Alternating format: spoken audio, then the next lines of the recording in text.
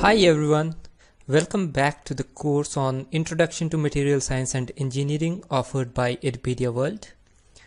The last lecture discussed about the atomic structure, specifically the Bohr's model and the wave mechanical model and we concluded the lecture by saying that this lecture will discuss about the quantum numbers. So let's start with the idea about quantum numbers and the different kinds of quantum numbers.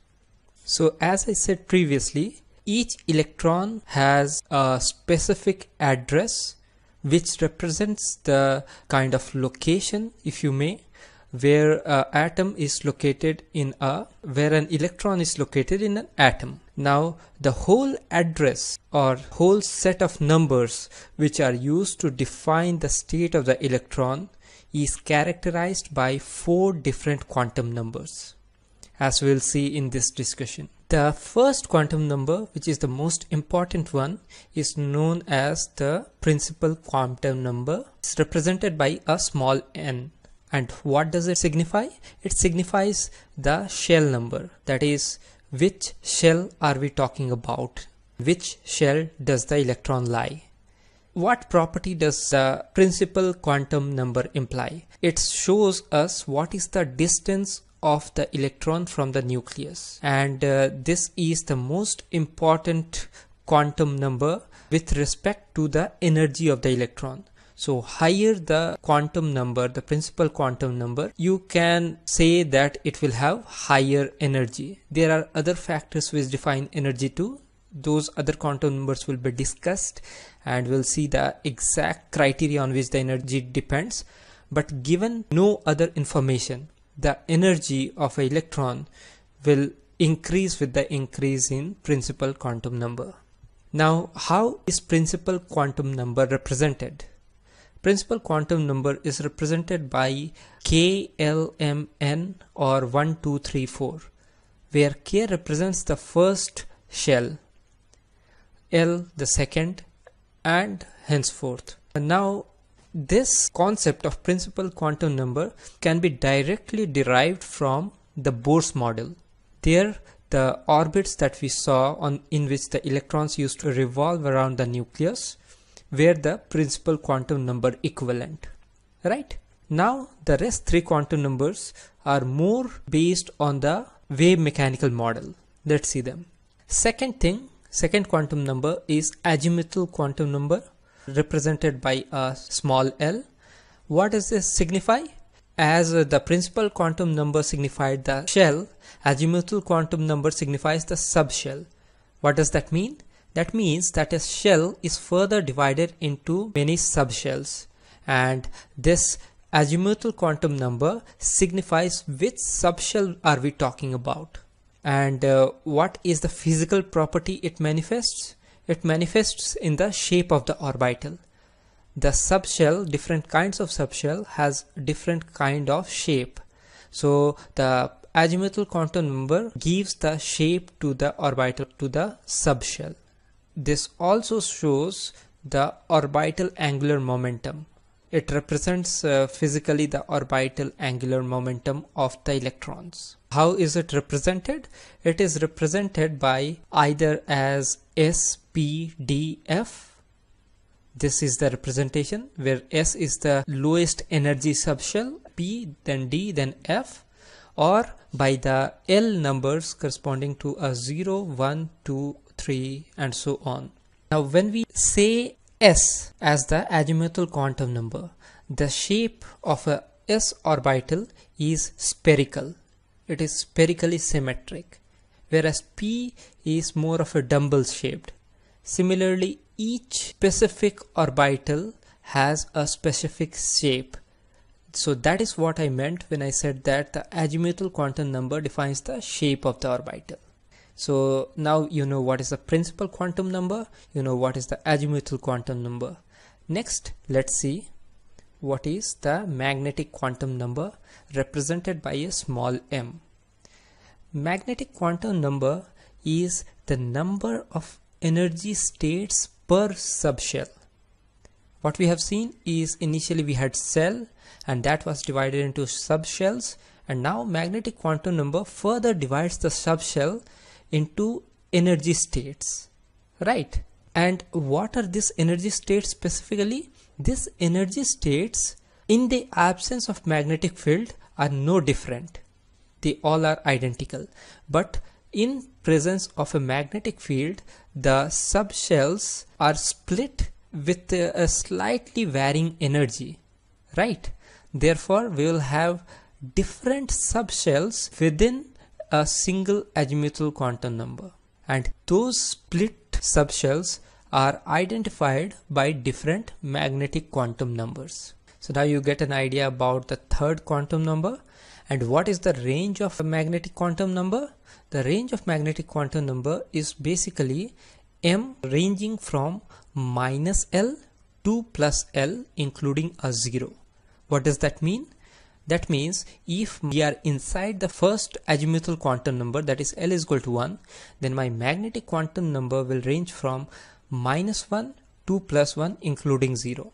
What I mean is suppose I have L is equal to 1 then my M will be either minus 1 or 0 or a plus 1 okay similarly if L is 2 then M will range from minus 2 to plus 2 including 0 so this is my third quantum number amongst the four quantum numbers that are used to define a electron in an atom. What is the final quantum number we need to talk about? The final quantum number is known as the spin quantum number represented by a small s.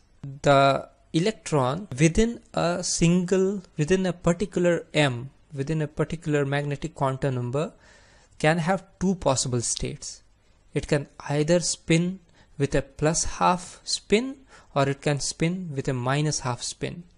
So these are the two possible spins a electron can have. Thereby what it means is that the spin quantum number can have only two possible spin orientation either a plus half or a minus half and it signifies the spin angular momentum. Therefore a electron to have a particular address identifiable from other electrons it should have a unique combination of the four quantum numbers. To illustrate what I just said let's say we have two electrons electron 1 and electron 2 we need to have n l m and s right? Let's say we are in the first energy level or the first principal quantum number then my n will be 1 both electrons are in the same principal quantum number both are 1 and if n is 1 then one thing which I forgot to mention is that the azimuthal quantum number should range from 0 to n minus 1 okay? So if the n is 1 then azimuthal quantum number can only be a 0 if n is 2 then corresponding to that electrons can have an azimuthal quantum number of either 1 or 0 this is an important thing that azimuthal quantum number ranges from 0 to n minus 1 therefore for this case the only possibility of L is 0 for both the cases isn't it? And given L is 0, we have seen that the magnetic quantum number ranges from minus L to plus L including 0. Therefore, for L is equal to 0, M only possibility is 0. Okay, still now for both electron 1 and 2, the address seems identical, isn't it? Therefore, the fourth quantum number or the spin quantum number needs to be opposite for these two electrons to coexist two electrons cannot coexist with same four quantum numbers. Therefore, if this is plus half, this has to be minus half. This is the story about the different quantum numbers. Now, as I said previously, the principal quantum number is kind of basically derived from the Bohr's model. This represents the orbit number whereas the rest three quantum numbers is uh, supposedly coming from the wave mechanical model. Fine. Now let us discuss about the energy levels, the relative energy levels. Here we have seen the different quantum numbers and what I said is the most important quantum number to define the energy is the principal quantum number. Higher the n, higher the energy, given everything else is same. But as we'll see in this discussion, obviously, as you can see, eh, for n is equal to 1, sorry, this is the principal quantum number and this is the energy. So for lowest principal quantum number, the energy is least. For n is equal to 2, all the possible subshells has low energy Similarly, if we compare for the same thing, like if we compare S here, S here, S here, we'll see that it keeps on increasing. But as we introduce the other uh, quantum numbers, like this is S means azimuthal quantum number is uh, 0, whereas P means azimuthal quantum number is 1, D means azimuthal quantum number is 2. So once we diversify the other quantum numbers, there are some overlaps, right? These two are quite clear, lowest energy, next lowest energy. But in the three principal quantum number C3, what we see is though S and P follows the order directly from the principal quantum number, D lies at higher energy than S of 4 principal quantum number. And why is it so? We'll see in the next slide. This comes from what is known as Aufbau's rule. Okay. But uh, holistically, you can see that basically there is a trend that with increasing principal quantum number, the energy increases. Now we'll see with our background about the basic quantum numbers, how are the electrons arranged in an atom. Driving principles. First, Pauli's exclusion principle.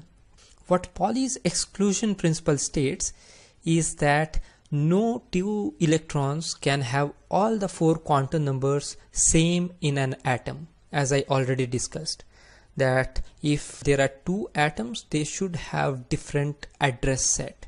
Same state electron have opposite spin as I demonstrated in the last slide isn't it? Now if I want to see how this is to be explained let's take an example with higher n where n is 2 now for n is 2 what can be the azimuthal quantum number? It can be either 0 or 1 0 means s and 1 means p.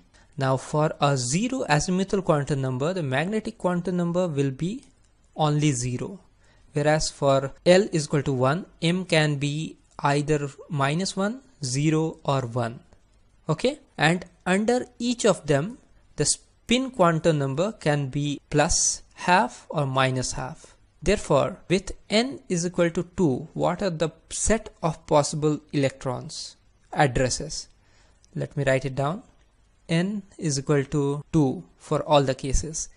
L is either 0 or l is 1 for 0 m is 0 for L is equal to 1, M is minus 1, 0 or 1 and corresponding to that S is either a plus half, minus half, plus half, minus half, this also a plus half and a minus half and plus half and minus half. Therefore what we see is under this principal quantum number n is equal to 2 we can have a total of 1 2 3 4 5 6 7 8 electrons and the formula which gives you the number of electrons under a principal quantum number is basically 2 times n square so using this you can say that for n is equal to 2 the number of electrons will be 8 if n were 1 then number of electrons would be 2 if n were 3, then the number of electrons would be 18.